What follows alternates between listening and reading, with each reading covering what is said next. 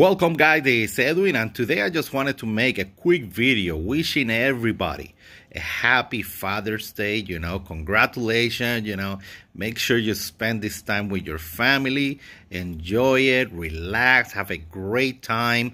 I actually just came back from a local mini vacation. We spent a week staying here in one of those big indoor water parks and man, we had a blast. I'm super tired, recovering this weekend now.